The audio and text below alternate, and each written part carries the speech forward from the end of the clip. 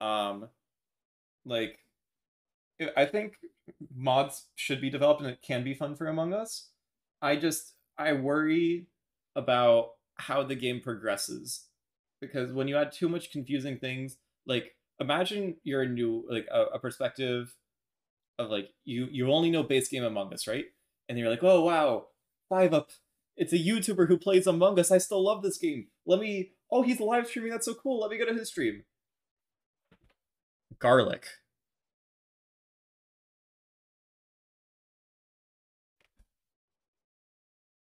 Like, what do you like? Uh, uh, what are you supposed to do with that? You see, you see, like